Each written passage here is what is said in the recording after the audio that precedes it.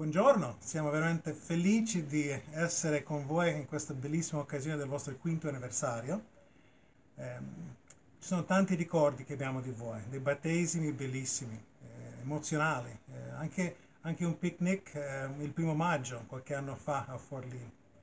Una delle cose che abbiamo visto e apprezzato in voi è questo, la gioia che c'è eh, tra di voi, anche questa eh, voler conoscere Cristo. Infatti la nostra preghiera per voi è quella dell'Apostolo Paolo agli Efesini, che dice noi ehm, non, non smettiamo mai di rendere grazie per voi, ricordandovi nelle nostre preghiere, finché il Dio del nostro Signore Gesù Cristo, il Padre della gloria, vi dia uno spirito di sapienza e di rivelazione perché possiate conoscerlo pienamente.